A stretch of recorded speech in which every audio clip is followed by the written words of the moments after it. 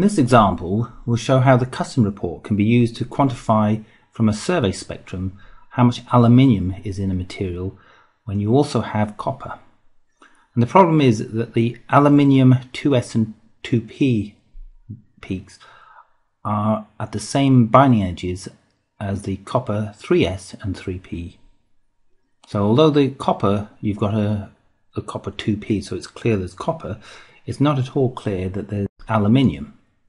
So if you look at the ratio of the possible aluminium and copper peaks in the higher kinetic energy, you, you see that this ratio is significantly different between a pure aluminium and a pure copper sample.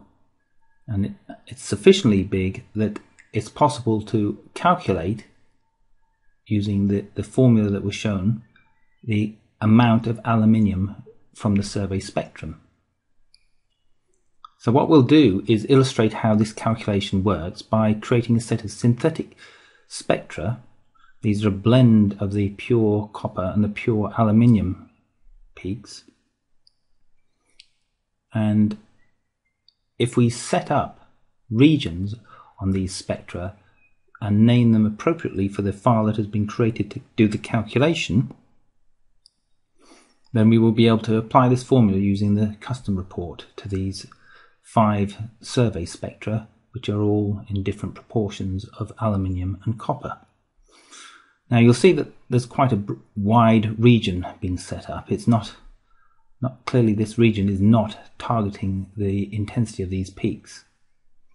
And there is a reason for this. What I'm going to do is rather than using regions defined on the spectra themselves, I'm going to do a calculation that involves a least squares calculation and compute from the original pure aluminium and pure copper spectra that have their regions defined quite nicely, I'm going to calculate a background in a least square sense for these, these spectra that are of varying proportions. So the, those are the backgrounds that you'd expect for aluminium and copper if they were all on their own.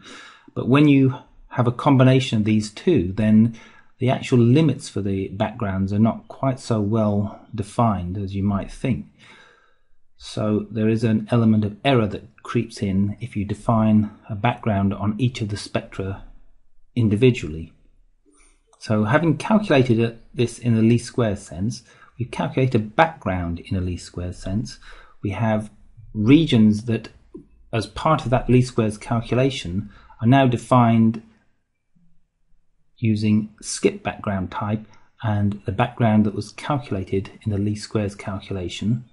So when we apply this formula by loading it from the file, and this is the file with the various parameters all set up, so that these formula will be calculated and entered into the custom report. And here they are, two formulae uh, for each for the different percentage of copper and aluminium.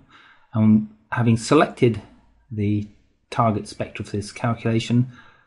We press the apply report and you can see that the calculated values based on that formula, or these formulae rather, are as you'd expect, 25, 50 and 75.